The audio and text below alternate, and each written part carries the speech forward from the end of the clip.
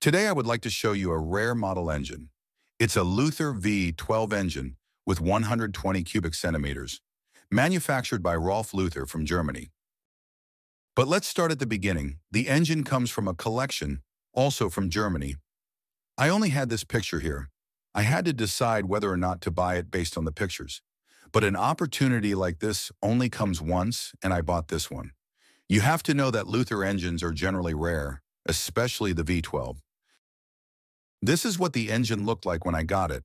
It was probably converted to gasoline right at the beginning. It has a mechanical ignition distributor, controlled via the camshaft. But I think the engine never ran. On the one hand, the complete ignition system is missing, there is no fuel distribution system, and the engine itself looks unused. No signs of use. Even the manifolds inside are new.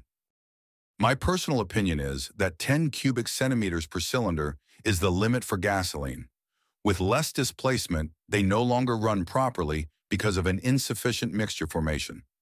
That's why I'm going to convert the engine back to methanol, as it was originally. With this modification, it will run very well. I also looked at the ignition distributor. It appears to be very simple and also unused. There is a hexagon in the middle which switches the contact. The spark is then distributed to the individual ignition cables via the arm at the top. But as mentioned, it looks like the fuel conversion never worked. I have designed a new dummy ignition distributor for the glow plugs in Fusion 360. I based my design on the previous ignition distributor. I then had it SLS 3D printed. I also used the original holder to the cylinder head for it. Now I have the problem that the ignition cables are somehow hanging in the air. On the one hand, this is risky as they could come into contact with the manifold, and most important, it just looks bad. To solve the problem, I designed a carbon cable holder. This guides the cables and looks great.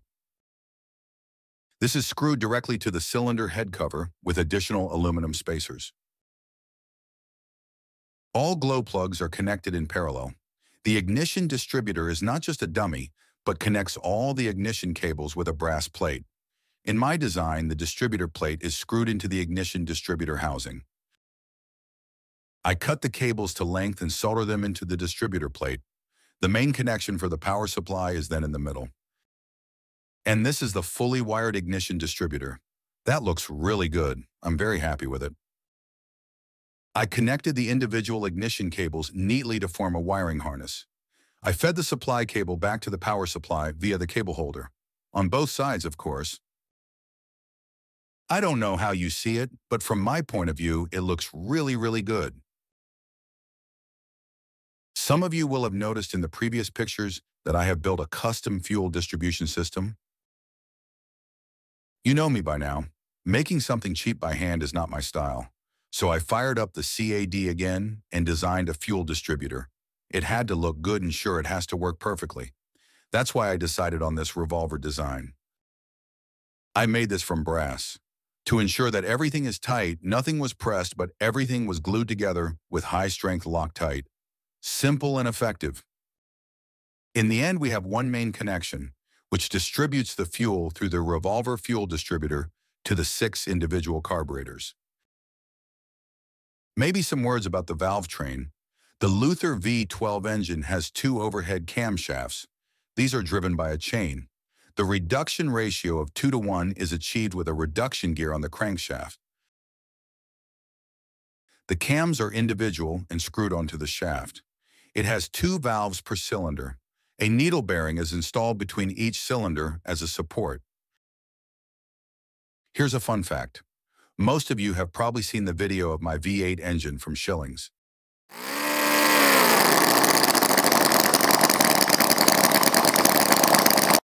If not, you'll find the link in the description.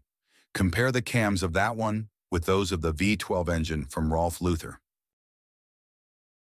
Can you see it? The cams are the same.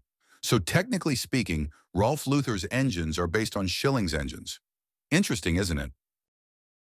Before I close the camshaft housing, I oil each cam by hand with Molsynth 120 because there is no active oil system in this engine. This is common for model engines. A few words about the engine mount. I installed rubber buffers to dampen vibrations. I built this damper for this purpose. I fitted each of the four motor mounts with one of these. Here you can see how this works in principle. Each buffer unit has a theoretical load capacity of 9 kilograms, so everything is safe. I'm often asked how I power my glow plugs. Each glow plug needs 1.3 to 1.4 volts at 3 amps, so we need a power unit, which delivers in total 36 amps at 1.4 volts. I use DC-DC voltage transformers, which deliver a maximum of 20 amps per unit. The cost per transformer is only a few bugs. Each converter supplies six glow plugs. I use a 4S LiPo as power source. The output voltage can be continuously adjusted using a potentiometer on the converter. Here I adjusted the output voltage to 1.38 volts. This is what my custom-made Luther V12 engine looks like now. We are finished and can start it for the first time.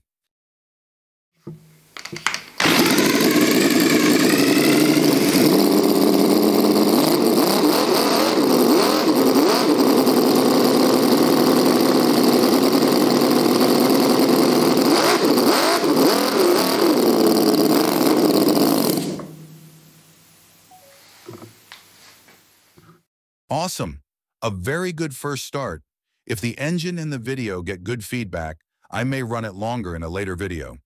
Thanks to you guys for your support and feedback. Please don't forget to like the video and subscribe.